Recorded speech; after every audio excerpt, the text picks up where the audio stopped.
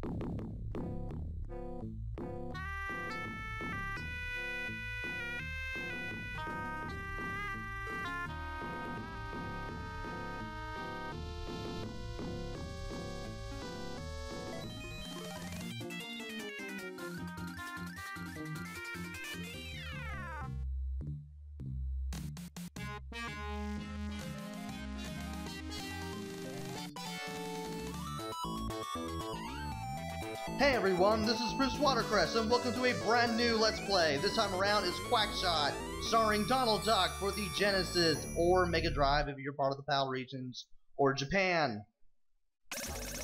Get me uh, away from this demo. Alright, let's press start. Might as well go to options and show you what the controls are.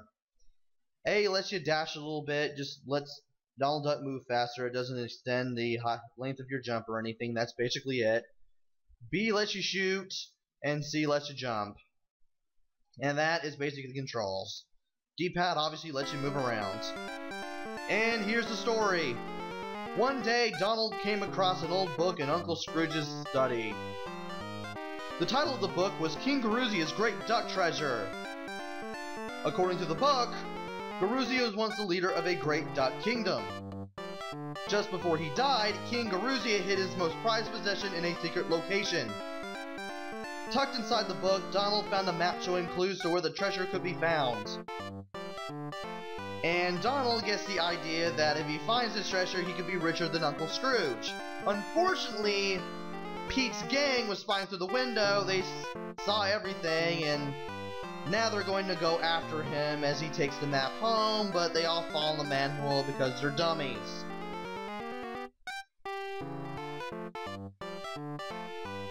Donald takes off with Huey, Dewey, and Louie and ditches a dinner date with Daisy Duck, but Donald's like, hold on, I'll be back, you'll see why. Yeah, way to go, uh, Donald. I'm pretty sure you're gonna be friend zoned for that. Yep, friend zoned. And of course, Donald takes off in a plane. Pete sends orders to his goons to go after them in a plane of their own. And that is where the game begins. We have three locations. We got Duckburg, we got Mexico, and we got Transylvania. Well, since we have the cursor already on Duckburg, why not? like that Duckburg is here. Kinda makes this whole adventure take place in the Duck DuckTales universe. And here we go. We shoot plungers at these guys to stun them so they don't shoot at us. And with that chicken, we get to increase all of our health. We start out with 5 whenever we get a new life, but we can refill it all the way to 8. Apparently you have to be right on the ladder, like pretty much centered on it in order to climb up or down. We alright, we got 5 of these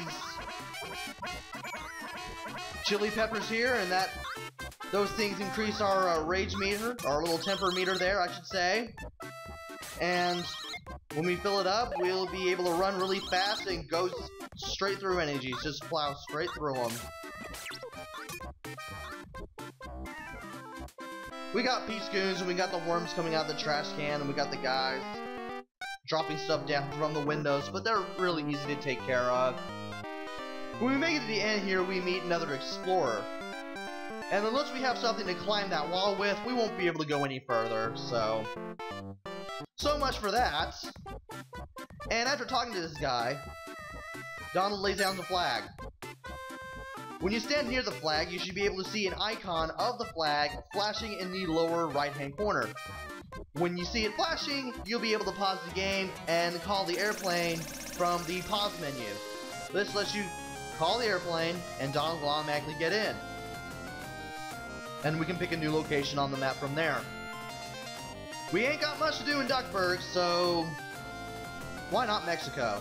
And I'll just skip that with the C button if you like. Might as well be very careful with these cacti because they will come apart and the segments will hurt you. Ice cream, that gives us one unit of health. The money bags give us points.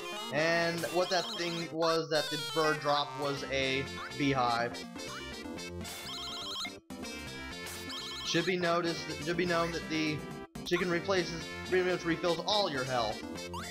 And we got these little claw, crab-like bugs with claws tossing these bricks upwards. This lets us get some popcorn, which is used as a five-way shot for the gun, and also get a little hat, which acts as a one-up. Might as well go ahead and get some extra height, why not? And it's on to the second section. Want to be careful here because there are more birds that will want to bombard us, as well as those turtles that we saw from Duckburg. They just run around and if they if they see you, they will duck into their shell. Make it hard for you to get around. Ditch this guy for some more money. And when we get close enough to the edge, this platform will start moving back and forth. Now we got this little detonator. Walk over it to trigger it, trigger it, and then jump over the series of blasts that it creates. You definitely don't want those things hurting you. Got another detonator here. Jump over that. Go ahead and stun this guy.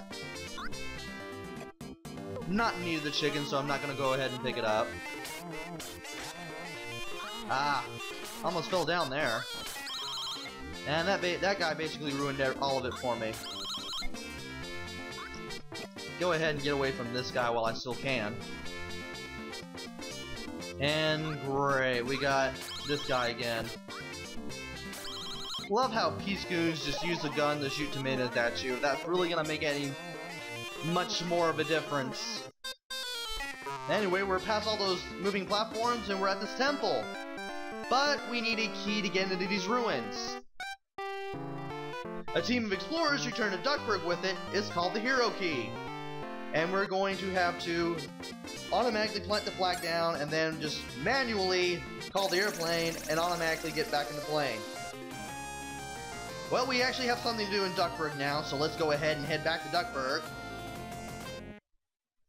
And it takes us straight to this guy.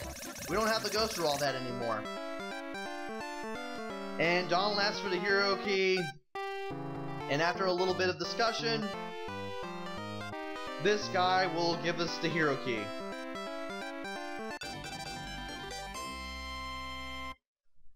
Alright, now to walk back to the flag and call the airplane again.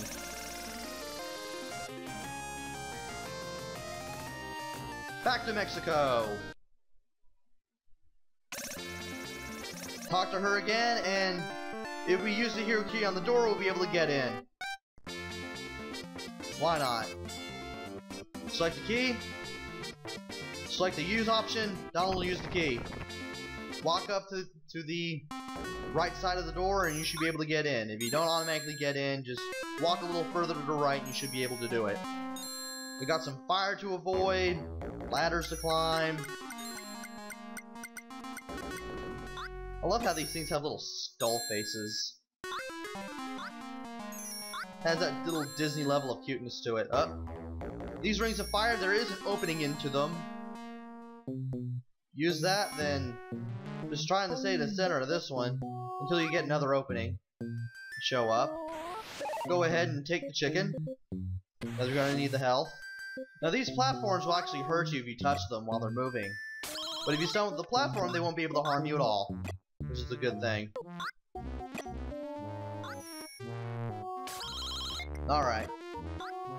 Alright, we, we were able to make it over that little wall there. Unfortunately, the natives are here, and they're trying to throw fire at us. Keep them stunned just to be sure. Now to climb down another ladder. There are some spikes here, thankfully they're not instant death. Oh, we got some fire. Again. Once again, wait for the opening.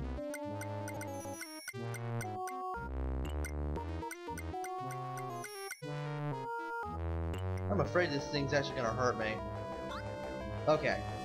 Wait for that opening to be like right above that the spikes on the floor just to be safe. I'm pretty sure I was gonna leap right into the spikes. I forgot to mention how to slide because well you're gonna need it here. Hold down, press C. If you're in a already in a in a section like this, just press C. There we go. Got some more popcorn. I usually just hold down while still in the narrow corridors just to be safe. This slide does not really work like the one in Mega Man. You don't just slide through a narrow corridor and you stay stuck in the sliding animation until you're, well, out of the narrow corridor, regardless of how long it is. You will have to keep pressing C over and over a couple times. Until you're out. And yeah, I should have been a little further away to keep from getting damaged there, but oh well, live and learn. Got some more. And I did a little too late, but... A little too early, actually, but... Okay, come on. Bingo! There we go. And we're at the end. Well, we're almost the end. Alright, now we should be at the end. Alright! And we meet Goofy, who apparently is playing the role of the dumb tourist here. And he doesn't really give us much of an explanation as to why he's in here at, at a dead end in the center of these ruins, except for, oh, just looking around. He also found a strange note He lets you have it, since, well, he doesn't know what to do with it. And he also gives you another plunger, which replaces your standard yellow plunger. He mentions that if you shoot it at walls and things, you'll be able to help you retire areas. Maybe that will help us get further in Duckburg. Speaking of Duckburg, Gyro Gearloose is looking for us. And we get the red plunger and the notes. There's a note here. Use. One sun, two moon, three star. Okay. Pretty sure that will definitely come in handy later. We also got the red plunger. Shoot at a wall, and you can stand on it, and use it as a platform. You can also use it to, well, get a little higher, and shoot another plunger at the wall and basically create a little makeshift ladder, I guess. And on the way back, all the platforms you use to get up here, they'll be gone. So don't worry about them reappearing and basically making your exit out of here a little hotter than it should. Of course, if you die on the way back, you get sent back to where you found Goofy. Sorry, TASers. But you're not going to be able to kill yourselves to save time in order to get out of here, sadly. You might be able to do that in other games, but no, Disney doesn't let you. And of course we have to deal with these guys again. Stun this guy.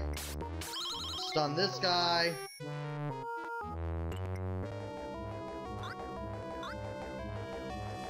And we're, yeah, we are at the first ring again.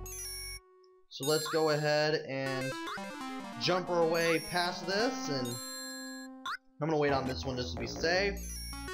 There we go.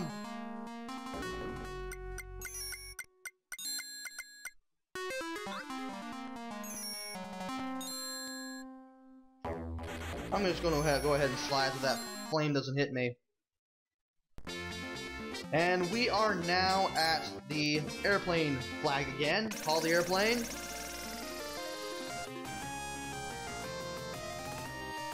And head back to Duckburg.